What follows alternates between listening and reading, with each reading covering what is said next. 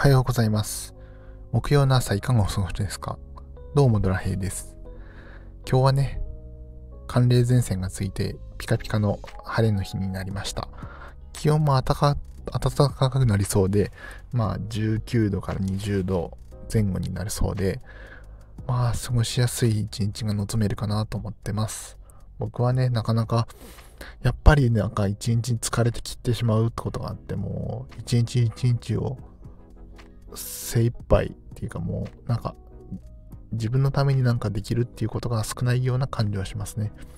復職するにおいてもっと体力が必要だかなとは思ってるんですけど、なかなかそこもうまくいかないなって思っております。うん、1日8時間労働して、まあ8時間つっても実際